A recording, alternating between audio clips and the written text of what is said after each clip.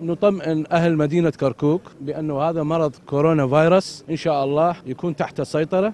دەمەوێت بڵێم دڵنیایی دەدەین بە هاوڵاتیانی کەرکوک، نەخۆشی کۆرۆنا کە بڵاوبۆتەوە لە شارەکە تۆمارکراوە بە ئیزنی خوا کۆنتڕۆڵ دەکرێت، چاودێری تەواوی شوێنە گشتیەکان دەکەین، تیمی تەندروستیمان بەناو شاردا بڵاوکردۆتەوە، ئێمە هەموو شوێنێک یان ماڵێک دەپشکنین کە لە وڵاتانی درهاوسێوە هاتبێتنەوە، جا ئێران بێت یا چین یا هەر وڵاتێکی دیکە.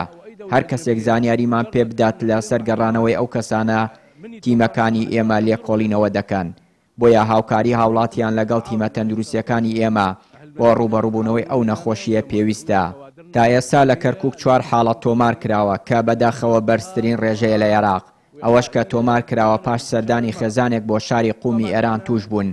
ئێستا دەستمان کردووە بە هەوڵەکانمان بۆی بتوانین ڕێگری بکەین لە تەشەنە سەندنی ئەو ڤایرۆسە لە شارەکە. پەیامی ئێمە وەکو فەرمانگەی تەندروستی کەرکوک بۆ هاوڵاتیانمان ئەوەیە نەترسن لەو ڤایرۆسە چونکە شتێکی ئاساییە و ترس و دڵەڕاوکێی ناوێ تەنها خۆپاراستن ئەرکی هەمووانە. طبعا رسالتي الأخيرة أنه أهلنا لا يخافون من المرض المرض بسيط جدا فقط يحتاج إجراءات وقائية